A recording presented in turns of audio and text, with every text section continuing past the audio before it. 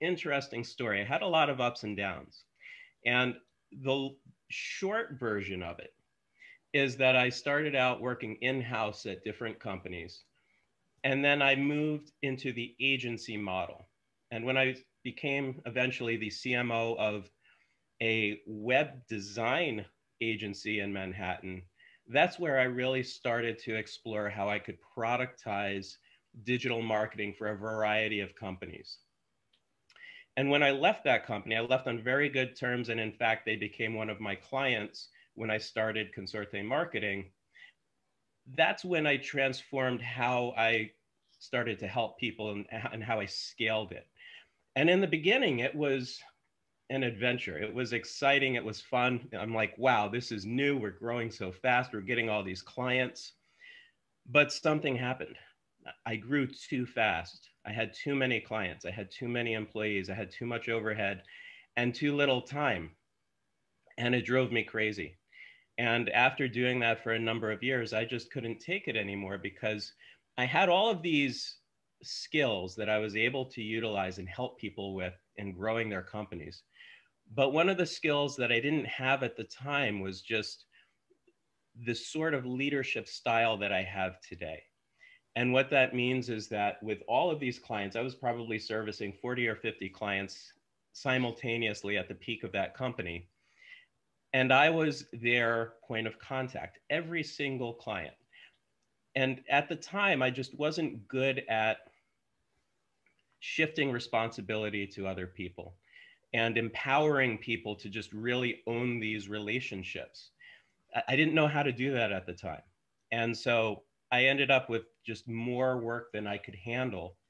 And I had to shut my doors. And I took a couple of years off and just retooled my mind and just worked on myself and, and just feeling better. I was in a very dark place at that time.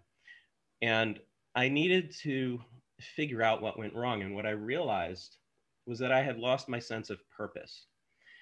I was doing so much work for so many people that I didn't stop and take time out to think about what I wanted and where I wanted my life to go. And so I realized that I broke, if, if you ever read Seven Habits of Highly Effective People, I broke rule number seven sharpen the saw.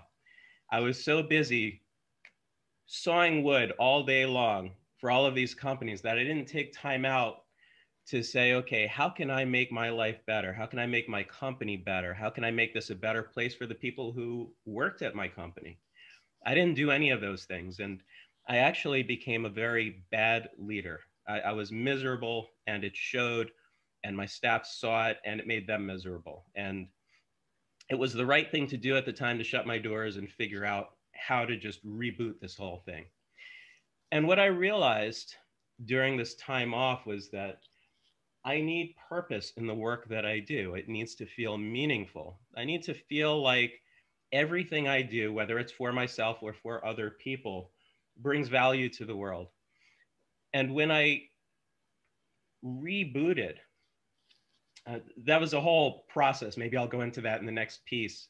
But long story short, I'm very intentional about the clients that I bring on today. So, one of my biggest clients is a health and wellness company.